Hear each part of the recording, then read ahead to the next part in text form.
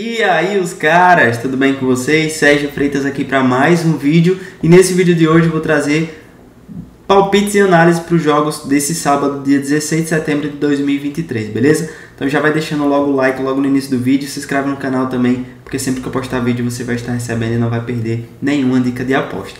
Hoje eu tô aqui com a camisa do Fluminense, tem jogo do Fluminense, mas eu já trouxe aí os palpites em outro vídeo do canal, então confere lá as dicas do Brasileirão, beleza? Hoje eu vou trazer aqui alguns jogos do Espanhol da segunda divisão, campeonato que sou especialista, e campeonato mexicano também, beleza? Consegui encontrar algumas oportunidades, então vamos lá, começando aqui pelo Huesca contra o Villarreal B, 11 h 15 da manhã, fica ligado para não perder o horário desse jogo, o Huesca dentro de casa, no meu ponto de vista, entra aí com um leve favoritismo e o Villarreal B como visitante é um time que sofre bastante, né? É, ainda não venceu jogando fora de casa, então acredita aí que o Esca consiga vencer ou empatar. Nós temos o menos 0,25, quem quiser um pouco mais de segurança dá para pegar o empate anula a favor do Esca.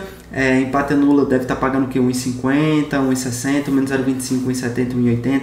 Então essa é a minha sugestão de aposta, beleza? Menos 0,25. No menos 0,25, se o Esca ganhar, ganhamos a aposta. Se der empate, perdemos metade. Já no empate nula, o empate devolve a aposta, beleza? Então vamos lá. Essa é a primeira dica. Na segunda dica que eu deixo para vocês é o Albacete contra o Burgos.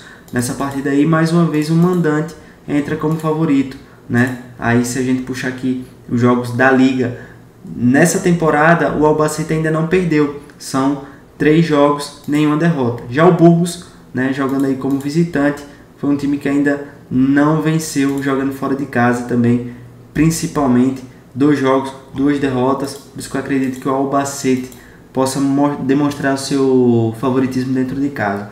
O campeonato da segunda divisão da Espanha é um campeonato que os mandantes geralmente levam a melhor, beleza? Então eu sempre procuro oportunidades nesse sentido, jogando dentro de casa.